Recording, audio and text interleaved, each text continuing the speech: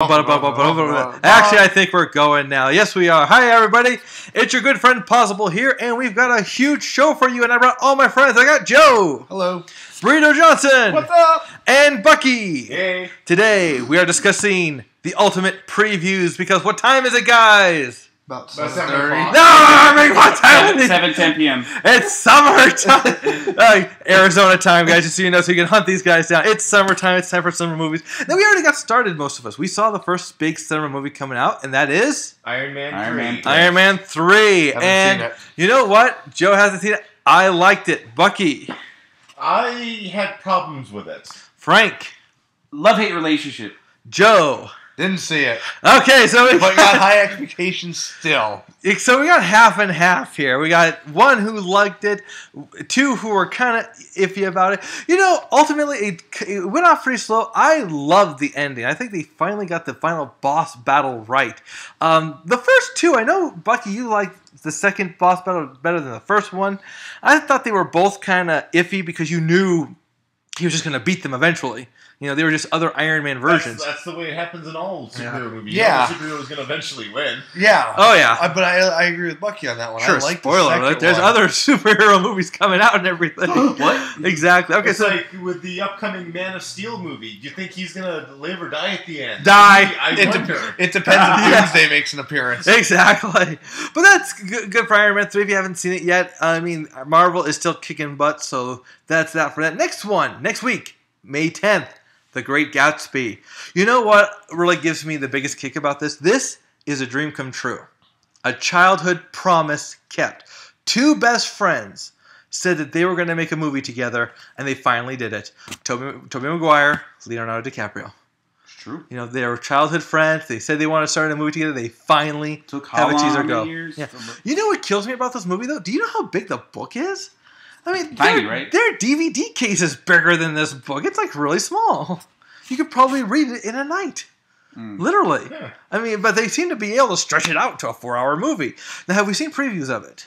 I've seen the previews. I have. You know, I I, have mean, not. basically, there's the humongous question: Who is the Great Gatsby? Is he a real man? Is he a con artist? What's really going on? What's the end game? I want to see it. What are you guys' opinion? I'm curious about it. If I do see it, I'm going to see it in 3D because Mhm. the effects of it look look phenomenal. 1920s. Oh, I'm, is- I'm is sure it- it's, I'm sure it's going to be visually stunning, Yeah. but the Yeah. story I don't know much about the story. You know what? We're only seven years away from the from the 2020s. That's when we'll all have perfect vision. But I just can't. Oh God! Oh, come on! That was funny. All right. Speaking of funny, let's talk about then something. again, we- we only have two years to get flying cars, according to uh, Steven Spielberg. Yeah, that's I, right. I, I definitely, I definitely, I definitely want to watch it because um, I'm, I'm, I'm a big fan of Baz Luhrmann. Um, you know, he did Australia, he did Moulin Rouge. He's worked with the DiCaprio before in uh, Romeo and Juliet. which So- is current music. Yeah, and uh, so I'm, I'm very, I, I can't wait to watch it. I'm very excited for it. now let's talk about something I'm not excited to see. Peeples. What the heck is that? You know, yeah. and that's a, that's number one right there. Yeah. Come on, box office. Right this Where- movie. where's Bam Bam? Unfortunately, it's not Pebbles. I saw where you were Yeah. going with that one. Unfortunately, this is people, and I'll tell you what really, really gets me about people. It's not just the lame cliche of the fiance or the fiance who to be meeting the family and getting into a big competition with them, trying to earn their acceptance. Gosh, this has only been done like how many times? but it bothers me to see the judge guy. I think that's David Alan Grier. Gosh, he looks so old, and I remember that guy growing up and everything. Yeah. He makes me feel old now. Uh, remember? Uh, sorry, He was in Jumanji. he was in Jumanji. Yeah. He was in the Blankman with uh, Marlon Wayans. Uh, what did one of the, the, the Wayans brothers? Someone whatever. actually saw that movie. I saw it. That was a Oh. great movie. I love that movie. what were you thinking? so who is this? Not Tyler Perry? Is that right? This is not Tyler Okay. Perry. This is some. Uh, her name is Tina. but uh, I Tina Turner. No, Okay. that's, that I think No. she's dead. Isn't Oh, she? No. what? oh, no, I'm sorry. That, that's Whitney Houston. Sorry, guys. Okay. Oh, Craig Robinson he stars in it, and I if I saw it correctly, He's the one from The Office. yeah, A lot of exactly. That's how I know. know him. Except for Hot Tub, Hot Tub Time Machine. Yes! I, have- like that movie. I have trouble seeing him outside of The uh, Office. Crispin Glover. Come on, man. I know, but you know what? Ultimately, I've seen the previews, and you know, it's it, it might as well be a Meet the Fockers uh, redo here. You know, so I, I I'm disappointed. I guess I expected a little bit more. Are you not going to the midnight? Yeah, I'm going to be avoiding Peeples uh, for May 10th. You, now, whoa, you people? What are you Yeah. doing? Next up. What are you trying to say, Pablo? What are you trying to say there, buddy? Won't be seeing the movie, but I will tell you one thing. And guys, for those of you who, who don't know yet, Did they explain why Peeples is misspelled? No, they haven't yet. It's probably going to be mis, you know, like uh, Pursuit of Happiness. They're going to explain why it was misspelled. It, they explained it in the movie. I actually couldn't finish that movie. I found the movie very boring. I couldn't finish it, you know, and I felt bad decent. It was because I couldn't. I never learned why they misspelled happiness, you know. Uh, that said, next week, the seventeenth. Yes, kids, that's my birthday weekend, and it's Star Trek. Oh, yes. Um, this is a pretty good one. Uh, Yeah, Okay, And so Plausible turns 45. I am not that old. You're only 44. I'm not even that old. I'm not is even he in the Benjamin Button or what? Yeah. He's revert. Oh I'm my going backwards. Whoa! You know, um, I'm looking forward to the. You know, I will say one thing about this that I found hilarious. When I saw the pictures of it, right?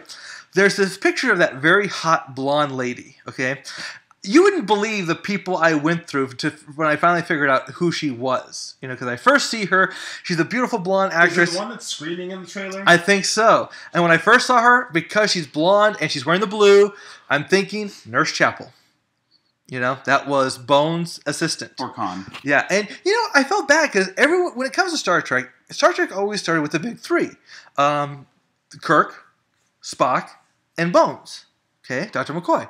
But then, you know, especially in Star Trek nowadays, they add in Sulu and Chekov and Uhura. Don't they were Scotty. Scotty. and Scotty by Simon Pegg. Yes, My favorite. Perfectly played by my, Simon my, Pegg. I I actually like the original Scotty myself. He's James- not alive anymore. James. Yeah, but Yeah. I got his autograph. All right. There That's you awesome. go. That's awesome. So they were they were second tier, but then there was this third tier, which is really forgotten. Yeoman Kelly was the first one I thought when I saw her because she was a beautiful blonde assisted, but she wore the red, I believe. Okay.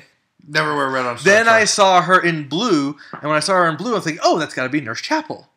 But then it turns out it's Carolyn Marcus. Now you might be wondering who's Carolyn Marcus. That Who's was Carolyn Marcus? that Carolyn was uh, Marcus. David's father. Or yeah, mother. that was- yeah, David's mother. it was, um, Kirk's uh, Kirk's love interest. at Yeah, one Kirk's point. love interest, who didn't want to stay with him only because he couldn't leave his ship.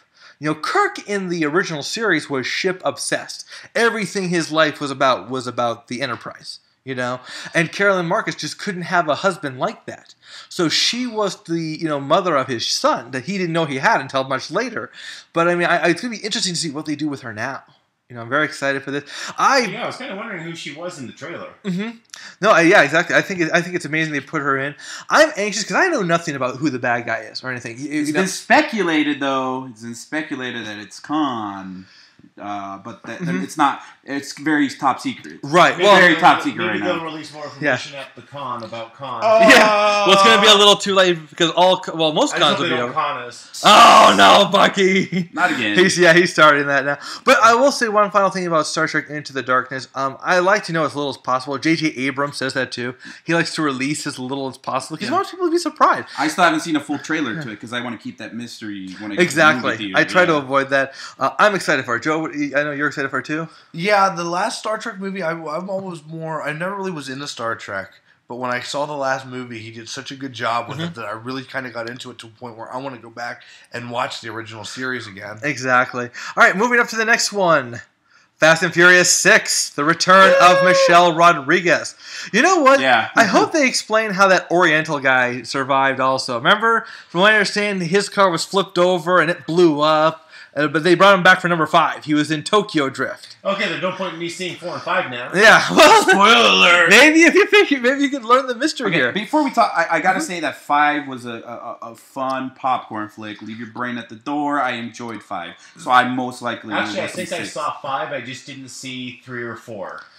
I have seen everything except for Tokyo Drift, Tokyo Drift was decent. and I didn't. I mean, first and second one didn't really do anything for me. I liked the uh, first Tokyo one. the Drift. first one was great. Yeah. I, will love the first one. I did not like the second Second one. one was like no Vin Diesel this time. Yeah, Yeah. I didn't like that one. Let's get some other. I think Exactly. I, the. I bought the the one, the, the first But one on basically, DVD to get the Matchbox car. I am gonna see this one though, just for Michelle Rodriguez. I'm anxious to see how they explain her coming back. You know, to be honest, we never saw her dead. I mean, let's that, that is one big because reality. she ju- didn't she blow up in the caverns or no, whatever they no, were racing. we, all we saw was the wreckage. Okay. We saw Vin Diesel looking at the wreckage, imagining what was happening, but obviously that's not what happened. She went undercover so that she could earn him and her full pardons, so that they could live their lives free and clear. So now, now The Rock has joined. eh, eh, So, so The Rock has joined every movie now, right? So Yes, he took over GI Joe. He's doing all, but he's in. He's he was in the fifth one. He, you know,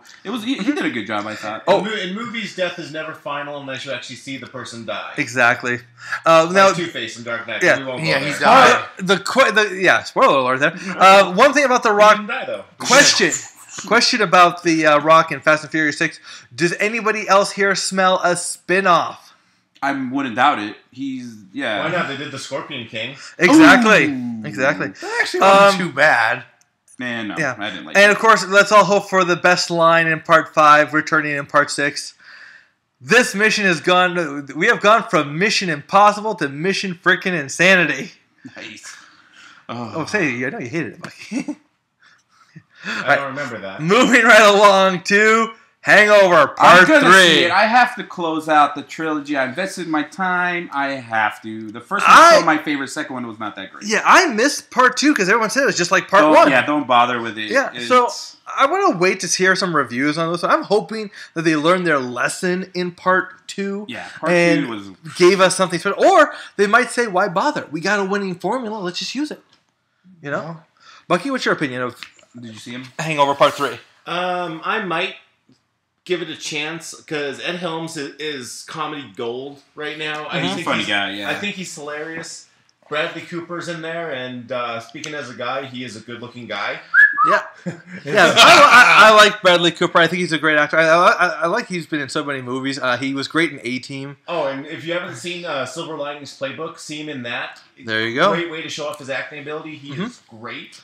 I am curious to understand why they're car- carrying the sledgehammer and crowbar. You and, know? and the cool thing about part three is they they they end where they began eh, back in Vegas is what the whole Right, where it all is. started. Oh, Yeah, so it's gonna go full circle. yeah, pretty much. Something okay, in like that. that. Case, I will probably give it a chance. yeah, give it the old college try here. And what's coming up? Oh gosh, Pixar's epic. Oh, I don't know if this no, is wait, Pixar. no, it's it's, Pixar. Ice Age. it's it's, Uh, uh, uh, it's Fox, right? Uh, something. Okay, whatever. Yeah, it's a wannabe. You know, epic. Oh my goodness gracious!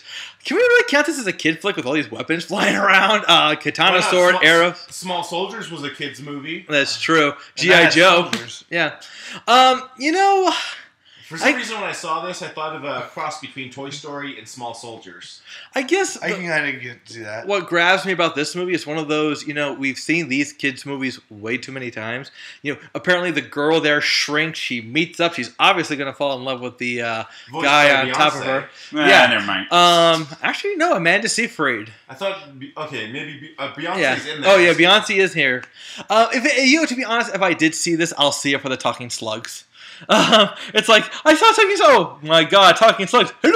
Oh, oh, talking slugs. Yeah. Okay, I misheard you. What'd you say? What'd you do? Never mind. this is a PG podcast. This- I knew where we were We're going. still PG here. Um, I'm looking. I, I'm not really looking forward to it. I mean, it's going to be kitty, but it might be good. I'll let some reviews and all that come out. I don't want to be too judgmental since we're too far out to really give it a C or a pass. I do that on the next batch. But when it comes to a movie like this, um, I don't know. There's something about it. Just I don't know. Just something Rubs you about the it. wrong way. Yeah, it gives me that bad vibe. I guess. Have you guys? tells me it won't be as epic as people think it is. I know that's what I'm afraid of. Something I guess too predictable. Well, it could I be guess. the epic fail. Yeah, Ah. exactly. I guarantee that. That's the people are- sequel. I- That's the I, sequel. guess people are already putting that on the IMDb message boards. I, I- Yeah. well, they, they they do that anyway. I, I remember this one guy. He used to rip every movie before it even came out. Michael Yeah. Flatley. Yeah, exactly. That son of a b word. All right, we actually have more to come up, but unfortunately, we're out of time for May. We'll add May to June, and uh, we'll see you then, guys. Be seeing you. Bye. Oh, do- do- do. oh what am I doing here? Um,